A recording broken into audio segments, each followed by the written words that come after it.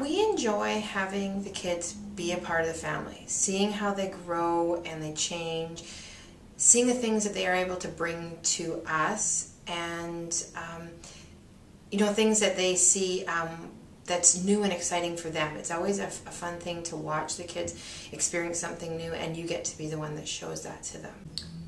One of our early on students, um, he came to us um, just a few weeks into the exchange.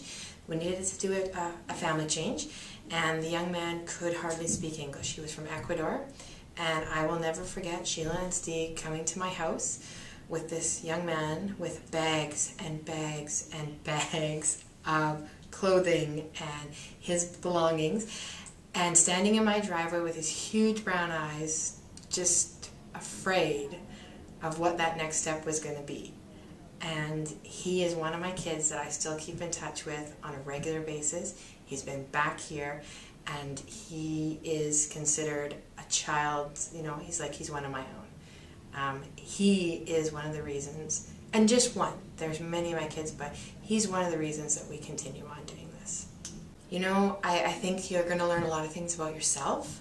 Um, you're going to learn things about you as a family you will develop a new relationship with this person who considers you mom, dad, sister, brother. Um, you will know about their family even though maybe you've not been able to even physically, you know, see them.